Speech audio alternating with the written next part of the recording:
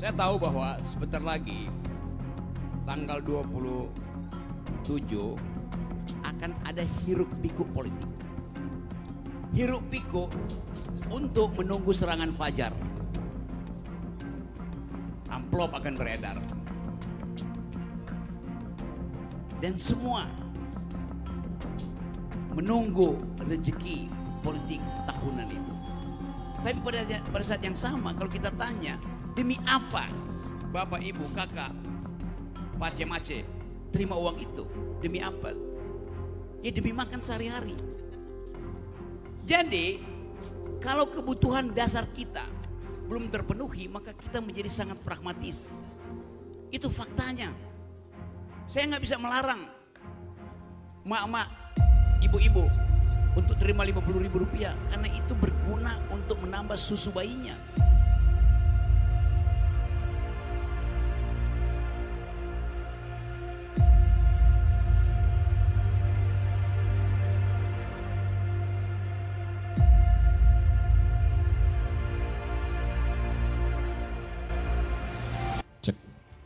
Baik, perkenalkan saya Emmanuel Miapa, asal saya dari Paniai.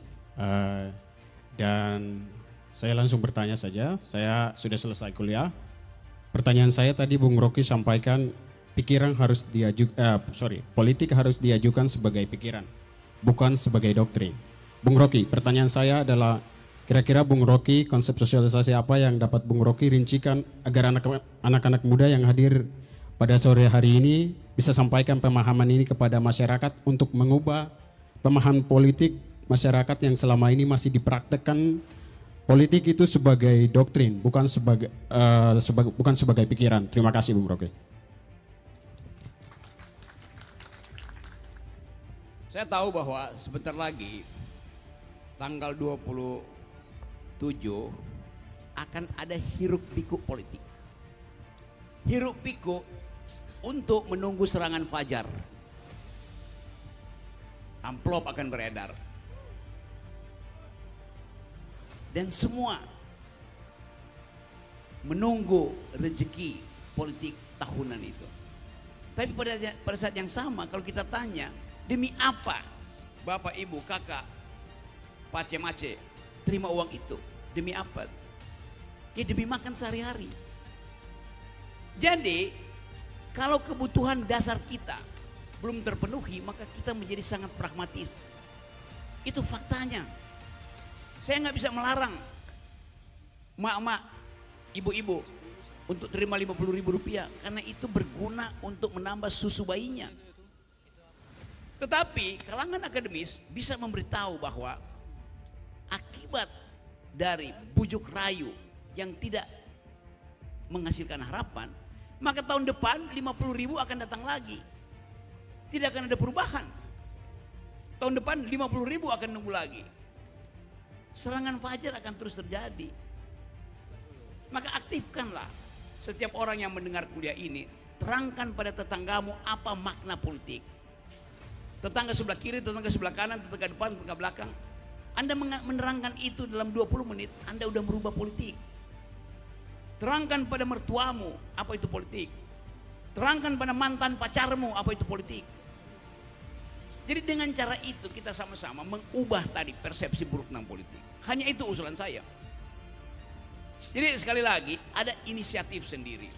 Bikin kelompok-kelompok diskusi untuk menguji kebijakan gubernur, kebijakan bupati pakai teori politik modern.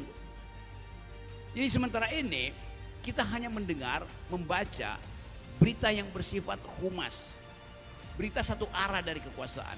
Nah mengevaluasi politik artinya mempertanyakan apakah dalil-dalil di dalam berita humas itu sesuai dengan watak kita sebagai manusia yang berpikir.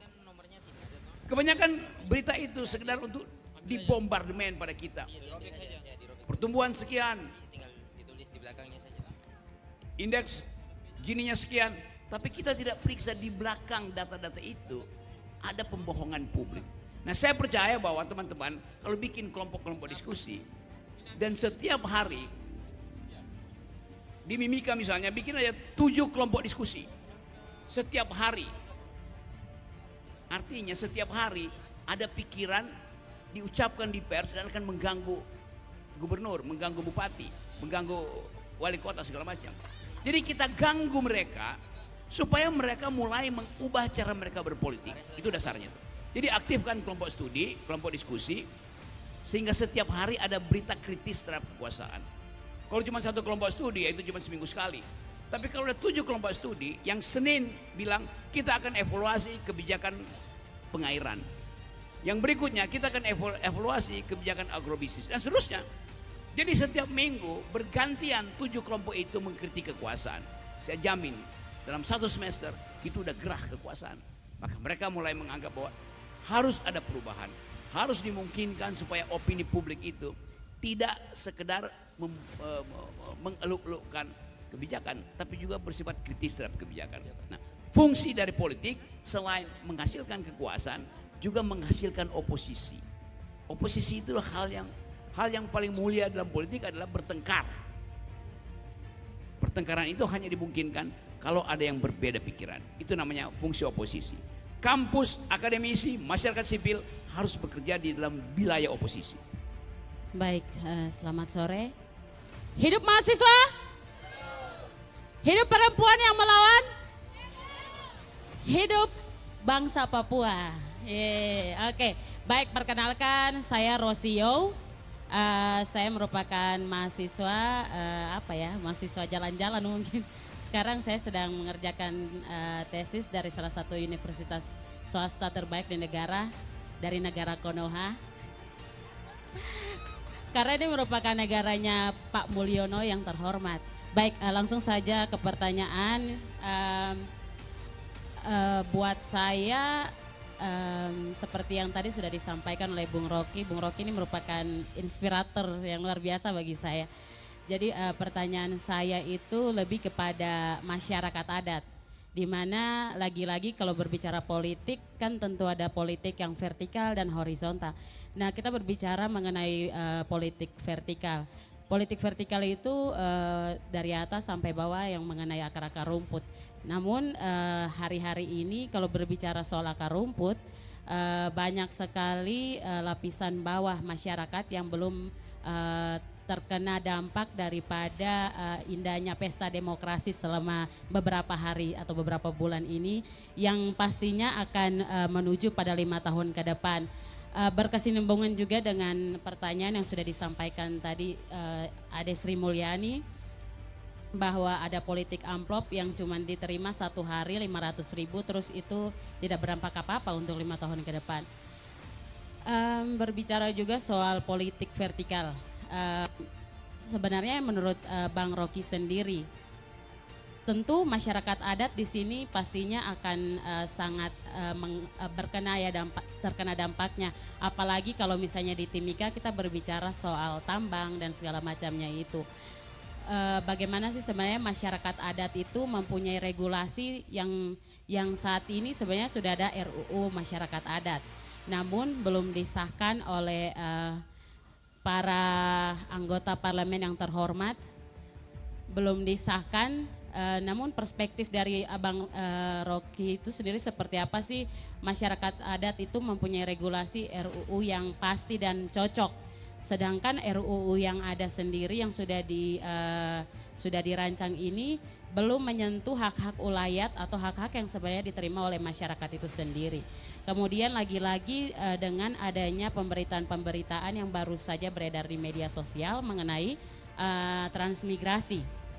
Ya, uh, berbicara soal transmigrasi, saya hidup dan dibesarkan oleh orang tua saya, Bapak Osiliusio. Mungkin teman-teman ada yang tahu kami tinggal di daerah SP3, di mana daerah SP3 itu merupakan daerah transmigrasi. Jadi saya sudah terbiasa untuk hidup dengan orang-orang yang uh, yang sangat inklusif dan juga sangat um, heterogen. Tapi uh, dengan adanya transmigrasi itu sendiri kan uh, sebenarnya menjadi apa ya batu loncatan untuk para investor-investor asing masuk dan mengeruk uh, eh, SDA itu tadi, sedangkan SDM kita sendiri tidak diberdayakan. Menurut Bapak um, sebagai filsuf, sebagai uh, pengajar yang luar biasa ini, bagaimana melihat hal itu tadi? Sedangkan transmigran yang di transmigrasi yang diberitakan akhir-akhir ini kan transmigrasi lokal ya. Apakah lokal itu tadi hanya dari pulau ke pulau perpindahan atau yang di belakang-belakang sana ada mungkin kapal-kapal yang tiba-tiba sandar terus uh, menaruh banyak penduduk-penduduk yang kita mungkin tidak tahu ya. Terus uh, ada juga tentang KTP elektronik ya 2019 lalu ada satu juta masyarakat adat yang tidak dapat memilih, memilih karena uh, KTP KTP elektronik tadi. Begitu sih sebenarnya Pak. Mungkin pertanyaannya sangat banyak dan luar biasa membingungkan. Terima kasih Tidak waktu apa, saya dicatat. kembalikan. Pertanyaannya dicatat. Oke, penanya yang terakhir silakan.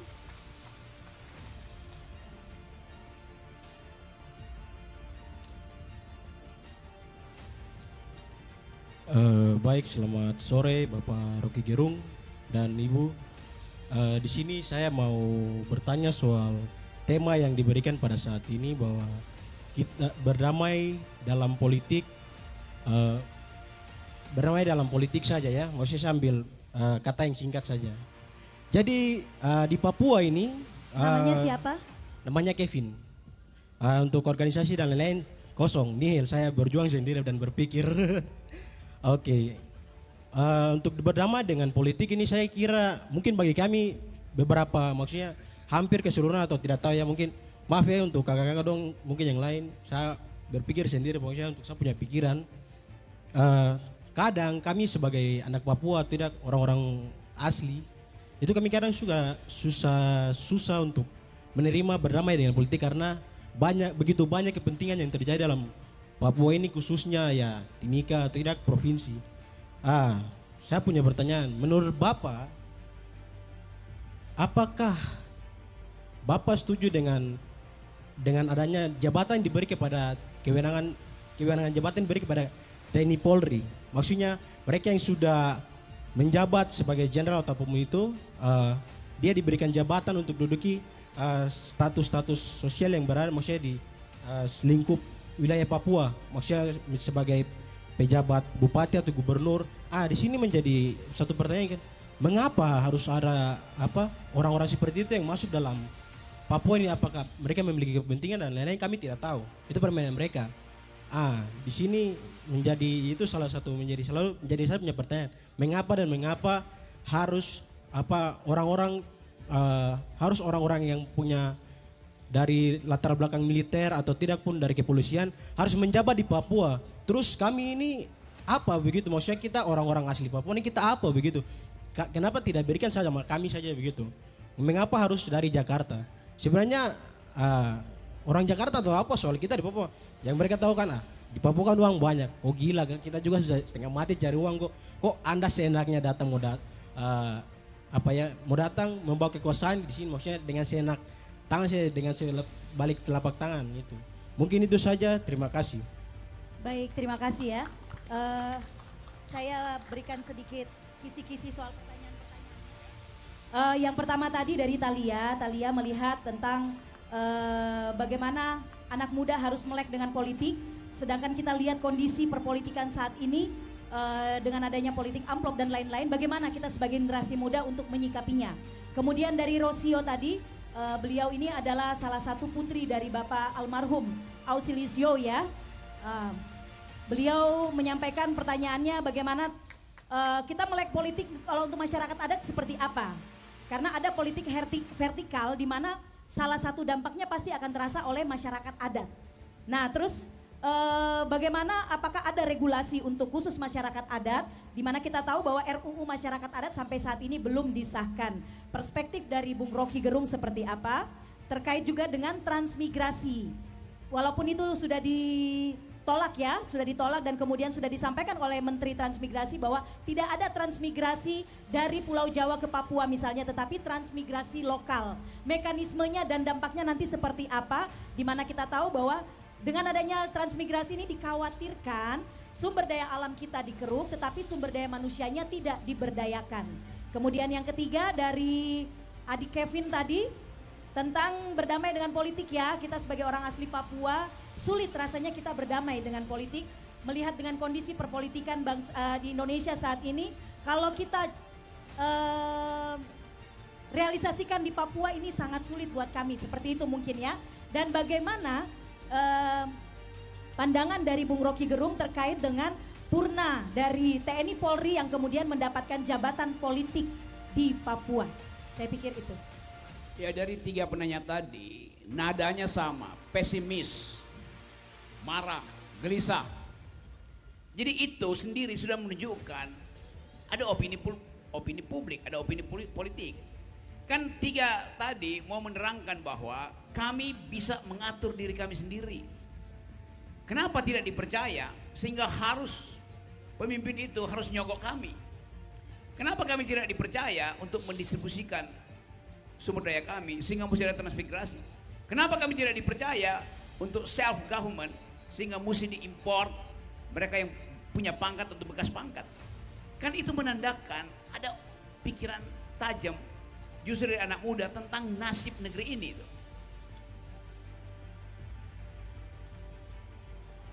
Kesimpulan saya, Mimika Papua bisa membaca jalan pikiran Jakarta. Tapi Jakarta tidak memahami jalan pikiran Papua.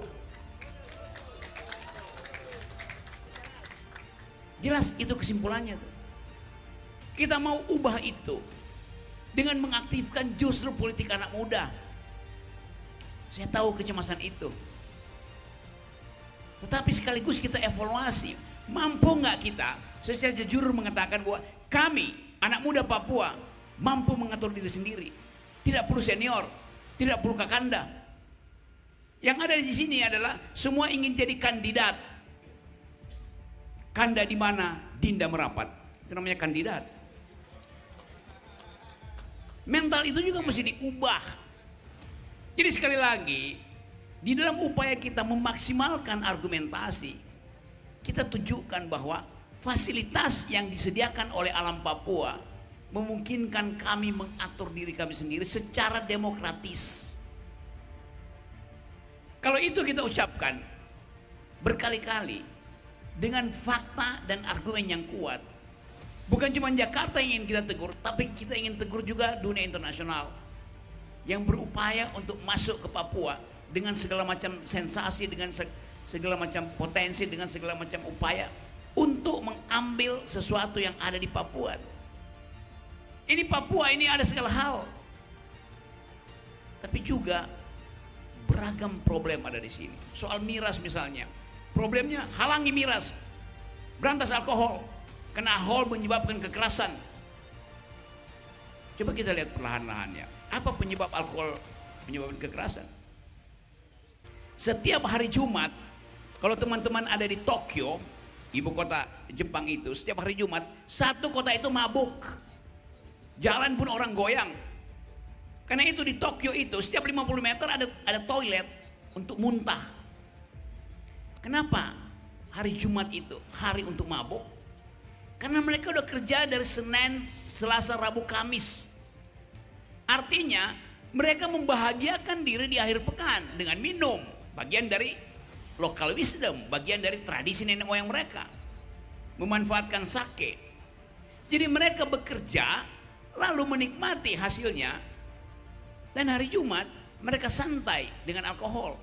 Karena mereka sudah bekerja, maka mereka menikmati alkohol. Di kita di sini terbalik, karena tidak ada kerjaan kita minum-minum.